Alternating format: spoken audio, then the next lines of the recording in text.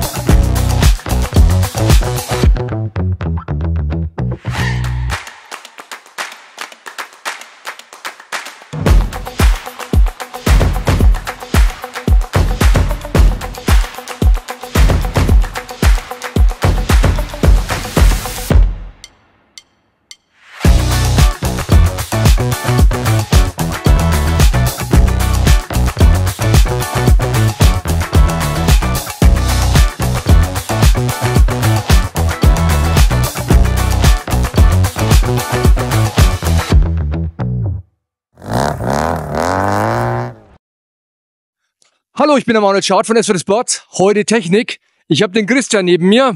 Das ist Servus. quasi mein Entwicklungsingenieur. Ja, Ne? genau. Ich versuch's. Das ist genial. Also die Schwinge, Ja. Kupplung, die haben wir zwar Zeichnungen gehabt, aber an der Kupplung hast du gut mitgewirkt. ja, dann haben wir den, den Faltenbalg halt, ne, für die Adapter, weißt du, über Genau, der Faltenbalg für die Schwinge. Genau. Ja, und jetzt was ganz Neues. Was ist dir da eingefallen? Ja, ich wollte mal eine Kette haben am Mo Motorrad. Eine Kette. Ja. Ach nee, da am Motorrad hast du da eine Kette. Ja, der Christian ist ein ganz äh, unruhiger Kerl. Der konnte einfach nicht lassen und hat unbedingt auf Kette umbauen müssen. Das heißt, statt der Kardanwelle hat er hier hinten dran jetzt als Antriebskette, als Sekundärantrieb eine Kette. Ähm, wie kommt man auf so eine dumme Idee? Ja, mir hat halt immer die, das Federmoment hinten halt nicht gefallen halt, dass es immer so stumpfe Schläge waren. Es hat nie optimal gefedert und halt das Gewicht einfach einzusparen. Das waren die Hauptgedanken plus dann die Übersetzung noch zu ändern halt. Was schätzt du, was du da an Gewicht eingespart hast? Ja, acht Kilo ungefähr. Acht Kilo. Das habe ich jetzt auch, acht Kilo, aber ich habe es am Essen eingespart. Ja, das, das Potenzial habe ich noch. Kannst du dran arbeiten. Aber wo sind da acht Kilo gespart worden? Ich kann das jetzt gar nicht glauben. Ja, also hinten der Endantrieb hat da allein äh, 7,5 Kilo. Hm. Ja, dann haben wir Kardanwelle, das Rad ist schwerer, die Schwinge ist schwerer. Ja. Natürlich haben wir jetzt hier A, sind wir A, zwei Kilo, haben wir ja nicht an die Zahnräder und Gehäuse gebraucht halt, ne? aber Aber das ist ja zentral gelegen, ne? und das andere haben wir halt einfach we äh, wegrationiert. Das andere war die Trägermasse hinten dran. Das Getriebe darf man ja nicht zählen. Das ist zentral und ist außerhalb der Federmasse. Ähm, Schwinge, wo hast du die her? Ja, das ist der 450er von der KTM. Von Was? Das KDM, das ist ja halbe KDM jetzt, ja, oder? Ja, das ist aber Motor, es, es zählt immer der Motor. Ah, das ist der Motor. Also wenn ich jetzt einen Mercedes-Benz habe und habe einen Chevy-Motor drin, dann ist es ein Chevy, oder? Das ist ja schön. Ja? Du bist ein bisschen dumm. Okay, habe ich Ja, verstanden. Ja, Federelement ist ja das gleiche und Räder sind ja auch irgendwo markengebunden und, und es kommt immer auf den Motor und Rahmen an. Deswegen hat sich ja KDM ähm, White Power geholt, damit sie ein gescheites Fahrwerk haben. Ne? Wäre BMW schneller gewesen, ne? Ne? hätten die WP. Ja, genau. Ganz einfach. Damals im Katalog, wie wir angefangen haben zu fahren, hat es noch WP-Fahrwerk gegeben. Also Gabel einletzt, dann hat es das WP-Federbein hinten gegeben, das war ganz normal. Ja, und ähm, für was nutzt du das Motorrad? Ja, jetzt halt einfach äh, im- für Sportzwecke halt, GCC und IGE zum Fahren halt. ja. Und einmal Sardinien. Ja, wenn mal, wenn mal die Zeit übrig ist, ja. Zeit, na, Zeit ist immer relativ. Bei denen, die was schaffen, ist Zeit immer schlecht. Du hast jetzt vorne, um das ganze Motorrad noch mal ein bisschen zu besprechen, du hast jetzt vorne eine Upside-Down-Gabel drin, 48 die AR, Ja, die Gabelbrücke von SWT, ne? ja. Ich glaube, einer der einzigen mit Silber. Hier haben wir KDM, der Tank, so als handlaminiert halt. Ne? selbst gebaut, wie man es halt so macht. Ne? Meine Frau backt einen Kuchen und Muffins und er baut halt mal einen Tank selber.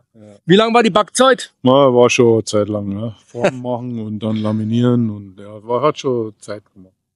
Dann Tankspoiler, natürlich einfach KDM, wie am Design. Ja, und, und Schutz halt auch. Ja. ne? Vom, vom Sturz ist halt auch gut halt. Ne? Das, weil das, doch, das Laminierte ist halt doch empfindlich halt. Ne? Was für Herz ist da drin? Oh, das weiß ich jetzt gar nicht. Nein, Äh, für Herz, ne die Nummer, das für Herz. Also das Herz halt, ja, das sind 850 Kubik halt. Ne? Alles selber gemacht? Alles selber, Zylinder gekürzt, alles, alles selber gemacht. Ehre, Ehre, Ehre. Getriebe war Fünfganggetriebe. Ich habe ihm versprochen, ja, ich habe da noch einen im Pedo, der hat gesagt, er kann unser Getriebe von, ah, vom Eingangsrad aus kürzen. Das wäre natürlich hier noch viel besser, dann kannst du mit der Sekundäruntersetzung noch ein bisschen Arbeit. Aber du gehst jetzt hier vom Fünfganggetriebe in ein Kegel- und Tellerrad. Ja, also zwei Kegelräder praktisch eins zu eins übersetzt. Und die Übersetzung machen wir ganz normal wie mit der Kette halt. Nicht so wie halt im Endantrieb, dass wir irgendwie so 11, äh, 36 haben oder Hm. so, sondern halt einfach ganz normal 13, 52. Da haben wir 4-0 statt 336. Also sehr kurz. Kürzer halt. Ne? Äh, Maschinenbauteile, alles selber gedreht oder wie ist das Ja, passiert? die Zahnräder habe ich gekauft, die zwei. Das ist das Einzige, sonst ist alles selber gefertigt. Ne? Und, und Kugellager halt. Die Zahnräder und Kugellager sind gekauft. Und ich weiß, ich habe öfters mit ihm telefoniert. Das sind ganz, ganz viele Gedanken in dem Hirn gewesen, wie er die Kraft zum Motor hinzieht. Weil so eine Kette, wenn er springt und kommt auf, ihr müsst euch vorstellen, die will ja nach vorne, aber das Rad bremst, also die zieht den Motor nach hinten. Und da, diese Kraft, das ist das Schlimmste für das Getriebe. Wir haben nur ein paar Punkte am, am Getriebe, am Gehäuse selber mit M6 und da ist jetzt Bazuganger gesetzt. Genau, also ich habe da unten, wenn man da, also mir da unten ist praktisch, äh, haben wir äh, äh, durchgängiges Aluminiumrohr, wo das, das Getriebe komplett miteinander verbindet. Also du spannst das quasi mit dem Zuganker zusammen. Genau. Geile Sache. Ich habe den Auftrag an meine Mannschaft gegeben, dass die morgen ein wenig Acht geben auf den Christian und schauen, dass wir noch was sehen. Ich hoffe für dich ganz arg, eine Stunde ist es, ne? Dass das Motorrad nach einer Stunde noch selbstständig fährt. Das wäre total klasse. Weil ähm, die Aufregung, warst du Ja, vor deiner Hochzeit vor auf, so aufgeregt? Nee. Habe hab ich mir gedacht. Also ich habe so was ähnliches gerade, so eine Neugeburt, aber das ist äh, die Steigerung. Nee, das, das wird echt schauen, dass das alles hält und nichts auseinanderreißt. Halt. Also smooth fahren, kamerafreundlich, dass man dich aufnehmen kann. Ja, Ich, ich freue mich, wenn es klappt. Ich finde es total geil. Doch. ja, ich mich auch. Und ähm, auch nochmal so für alle da draußen. Ich finde es so geil, dass ich den Christian kennengelernt habe. Das war 2013. Ne? Zusammen sind wir dann nach, nach äh, Finnland gefahren, ja. Finnland, Russland. Ja, ja. Was sich für Freundschaften über so viele Jahre, über ein gemeinsames Hobby äh, zusammentun können. Wir sehen uns im Jahr nicht so oft, aber immer wenn wir uns sehen, freuen wir uns. Hoffe ich jedenfalls. Ne? Also ich freue mich immer. so. Euch da draußen danke ich fürs Zuschauen. Liked uns in Instagram, Facebook, TikTok, LinkedIn und wo auch sonst. Macht die Glocke an. Bis bald. Euer Manuel Schad mit Christian. von SWD Sports. Ciao.